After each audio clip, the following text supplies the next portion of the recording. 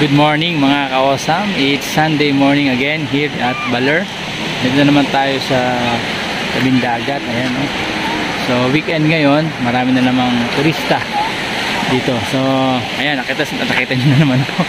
Kumusta kayo? Sana uh, lagi kayong ligtas at nasa mabuting kalagayan. Matagal-tagal na panahon tayo hindi nakapag-video, uh, nakapag-vlog dito sa tabing dagat. So uh, lilipat ko yung camera, papakita ko yung nakikita ko sa inyo. Alright mga kawasam, so ayan na.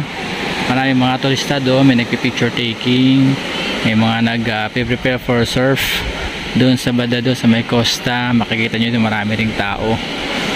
Yan dito rin, marami rin, marami nakaparada. Ito, yan mukhang mag-ready ready na sila. Ito na silang dagat. Tapos doon may mga waiting sa alon. Ayan o. Oh. Ang season na ganito, June, July, ay tinatawag dito sa Orona Lantap sabihin hindi masyadong maalon. Kaya kung plano niya magpunta sa mga coastal area dito diyan kayo dadaan sa coastal area pag ganun. Sa di kapinisan, di manayat di bayabay. Ay maganda yung panahon na ganito yung hindi masyadong maalon no? lantap ang tawag dyan kaya, kaya yung mga nagsasurf hanggang dyan lang sila sa gilid. Kasi dyan lang lumalaki yung alon pero hindi ganun kalaki. Kung ano lang uh, konting alon lang. Tamang tama sa mga turista sa mga kababayan natin na dumadayo ng Aurora for beginners na mag-aral mag-surf sa ganitong uh, panahon June, July. Ayan, no? so kung hindi pa kayo nakating ng Aurora ay maganda pumunta na kayo habang bakasyon. So next month ay bakasyon na ng mga estudyante ng mga public school ng DepEd dahil July bakasyon na yan. So pwede kayong dumayo dito sa amin sa Aurora. Ayan Tignan natin sila. Abangan natin kung sino ang unang tatayo, makakatayo sa surfboard. So, merong grupo dito. Tapos meron ding grupo doon. Konti doon, medyo konti doon.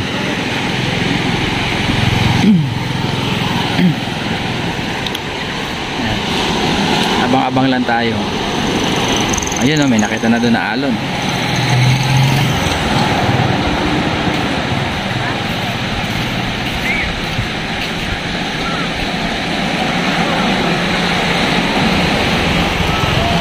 ayun na may nakatayo ayan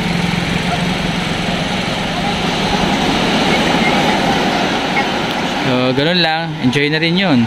Kahit saglit lang nakatayo enjoy na din ano. ayan si ate tayo siya ayan. Balancing ayan, balancing. Tapos mababaw lang ang dagat. Hindi nakakatakot. Ayan. So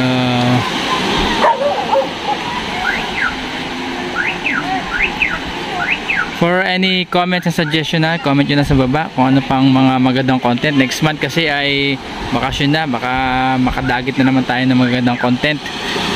At uh, makapag-share tayo ng blessing din sa mga kababayan natin dito. Hindi lang sa Aurora, hindi sa mga lugar na kaya nating paglingkuran. Ayan no. So, hindi ko pa rin na-upload yung aking children's party. Pa children's party natin nung uh, last week, ano, last Sunday. Yan, medyo makulimlim ang panahon dito. Hindi masyado lumalabas ang sikat ng araw. Ayan, pero hindi naman umuulan. Ganda lang. Oh, dito tayo sa may uh, tapat ng Charlie's Point. Ayan, Charlie's Point. Dito talaga marami nagsasurf eh, sa tapat ng Charlie's Point. Noon pa man. Marami na rito nag uh, sa surf. Charlie's Point. Tapos ito parang may Coco Bar. Ayan. Coco Bar. Ayan, shoutout sa mga taga Aurora at ang mga taga Baler at ang mga turista ngayon dito sa Baler na naabutan natin na nag enjoy dito. Ayan, lakad tayo ng konti. Dito malapit yung Baler eh, sa Charlie's Point. Ayan. Baler.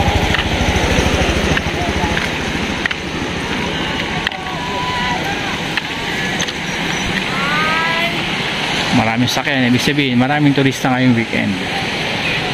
Punuan halos sila. Oh, daming tao.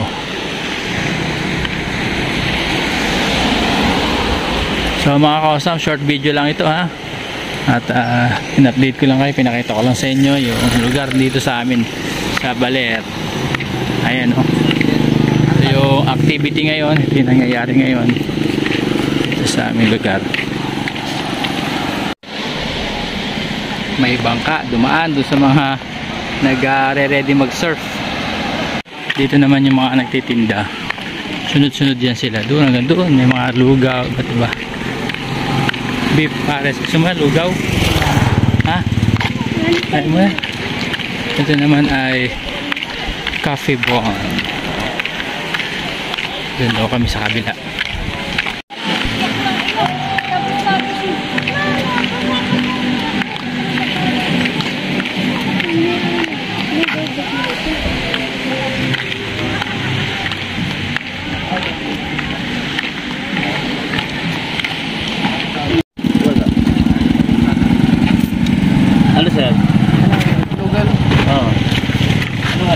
Fried chicken balunan.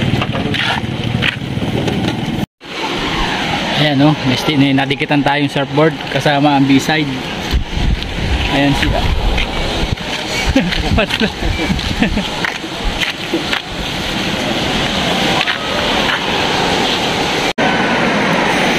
Alright mga kawasam, so andito tayo tabing dagat at ah, ayan, maraming tao dito. Silipin nyo. Ayan.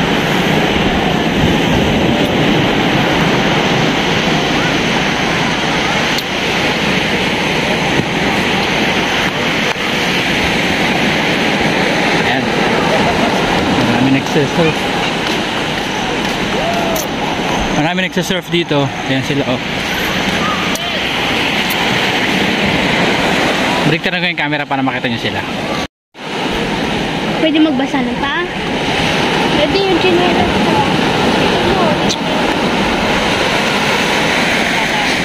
Si Shay Shay oh. Nagbabasa ng paa. Yung bundok na nakikita nyo doon sa bandaro, ano yung kasiguran na yun. Nabusog ako doon sa lugaw ah.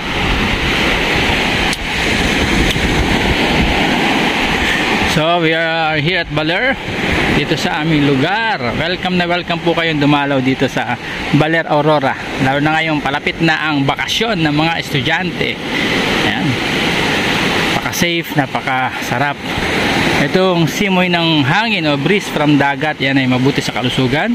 Plus sana kung maaga may sikat ng araw, kaya lang walang sikat ng araw ngayon. Ayan no. At yung pagtapak natin sa mga buhangin, maganda din. Mabuti yan sa kalusugan, healthy. Para maging malusog tayo at ligtas sa anumang karamdaman. Ayan no. Ayan. May bus dun, oh. may bus. Maraming turista. Right? Ayan, so mga kausam, hanggang dito lang ang video na to. Pauwi na kami. At ah, short video lang naman ito. Update, update lang. Ay, na open pa rin. O, open ang ating tourism dito sa Baler Aurora. Pwede kayong mag-surf at lantap. Mas maganda, mas mababa ang alon at mas mag-enjoy kayo. Thank you very much. Hawak mo pa na. Sinelas mo. Ayan ang awesome Aurora. God bless everyone. Have an awesome day. Always be awesome. Bye-bye.